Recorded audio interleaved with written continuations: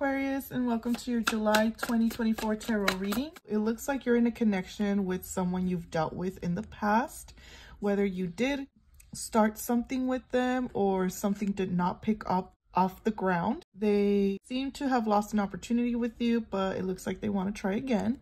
Now, it looks like there could be a lot of competition here for you or a lot of people involved in your connection or involved in the way that you think you know, just people influencing your decisions. I feel like you're being asked to consider to put your guard down a bit.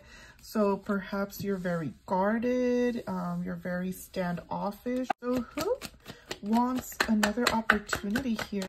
Oh, it is someone. Someone who could be rather intelligent, uh, more in the cold side rather than lovey-dovey, like someone who doesn't really show emotion very logical and assertive as well. Is someone who's very um, good at communicating. So I do see that this is soulmate energy. We have the king to the queen of swords. However, you're looking like this person, I think they pissed you off. You might have given them the cold shoulder, might have told them off Perhaps you were um, verbally aggressive with this person. Your communication wasn't clear or wasn't good or there was a miscommunication problem. You could have lied to this person or withheld information. So, hmm, I feel that you are trying to put your guard down or perhaps it's this person who's trying to put their guard down someone here was deceitful. Someone here was very um, shady, very manipulative, kind of like sneaky.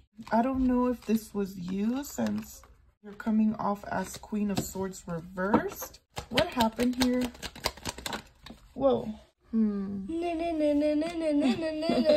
Batman. Batman whatever happened here, whether this was you or the other person, this person could have manipulated you into thinking that at some point, maybe you two could have been together or something like that. Maybe that's why you cut them off.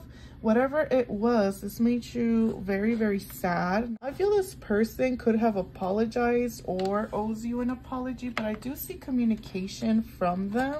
They want to apologize to you or they want to um, communicate with you about perhaps like some sort of proposal. They're hoping that you do accept whatever it is that um, they're offering. Um, I can see here that cycles have not been fully closed with this person. Um, so it's like they still hold feelings for you.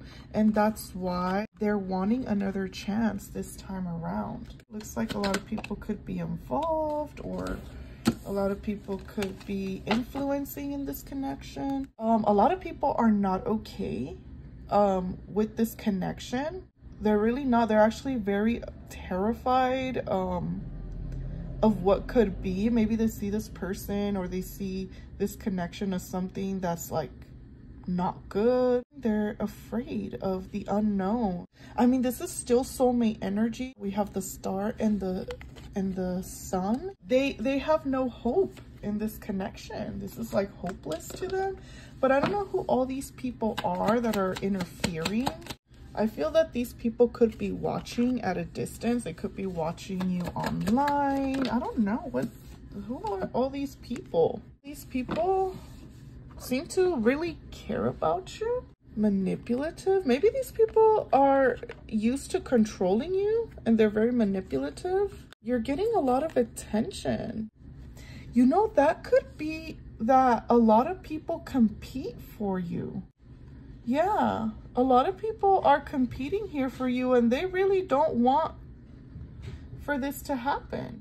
They see you as very attractive maybe this was someone that you had divorced or, you know, ended something high level.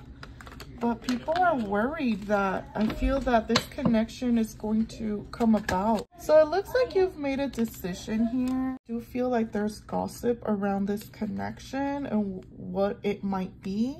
But someone here needs to do a lot of work in order to repair what happened here. See, I do see someone here who wants to have something stable with you. They want to offer, possibly even um, provide for you. But it's, I don't know, there's something very hopeless about this, very sad.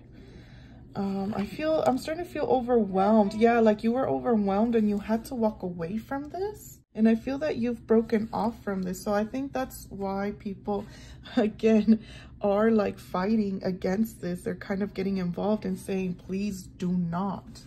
I feel that you have to go within and heal. Okay, you can't be letting all these people look get involved in your business. You have to make these decisions on your own and be very honest about that people here are watching you and I feel that this person is definitely watching you. It's someone who you walked away from. You know exactly what you want even though people are over here gossiping. You're working on yourself. You This could be you working on your stability. You want someone who can be stable, grounded, possibly even provide for you. Seems that you've lost hope in that, but I feel that you're just being asked to put your boundaries on all these people that get involved in your love life and definitely go within, silence your mind and try to heal from this so that you can make um, the best decision for yourself. You're being asked to be courageous and be strong and not lose it when it comes to all these people, again, who keep getting involved. This Five of Wands keeps coming up multiple and multiple times. Yeah, you need to balance yourself. You have gained a brand new pers perspective or you will as soon as you're um, feeling a lot more balanced. So this is what I have for you, Aquarius. I hope that this brought upon some clarity and I hope to see you next time.